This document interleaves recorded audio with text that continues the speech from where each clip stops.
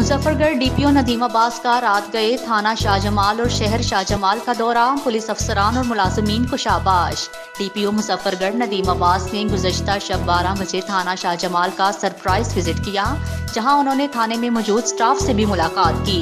DPO थाना शाहजमाल के front desk से कंप्यूटराइज रिकॉर्ड की तकमील भी चेक की और थाने में हवालात और असलहे को भी चेक किया।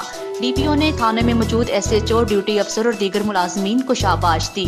डीपीओ का कहना था कि अब शब रोज हम जागेंगे, हम हर वक्त और हर जगह अपने फ़राइज मुस्तदी से अदा करेंगे और जराइम पेशा नासिर के खिलाफ जारहाना पॉलिसी पर अमल करते हुए इनको कैफरे किरदार तक पहुँचाएँगे।